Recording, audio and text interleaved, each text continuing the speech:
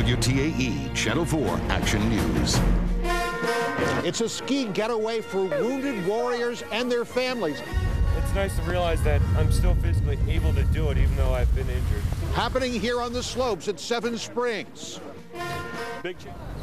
New at 6, they were wounded in Iraq and Afghanistan, and now they're turning to one another. For the past several days, they've been hitting the slopes at Seven Springs. And as Bob Mayo shows us, it's a way to bring these soldiers and their families together for encouragement and support. The group called Wounded Warrior Patrol arranged for eight wounded veterans and soldiers to be special guests of the Seven Springs Mountain Resort.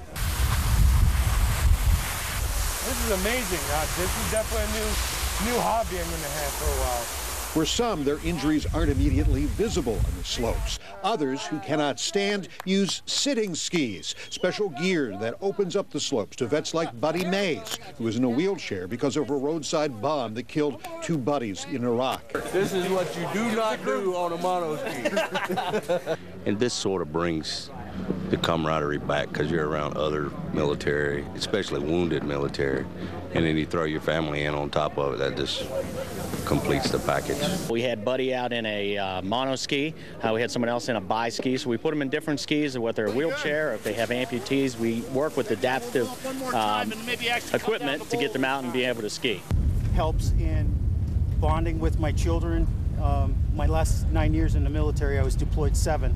Leslie and Troy Vanderau are both veterans with disabilities connecting with fellow wounded warriors on the slopes. It's really exciting, I think, and really appreciated by other veterans to receive um, support. We're now part of the family. We're going to pay it forward to, you know, other veterans. The Wounded Warrior Patrol and Seven Springs are talking about hosting the event here again next year. Wounded Warrior Patrol, they've done an awesome job. Bob Mayo, Channel 4 Action News. So beautiful to see that.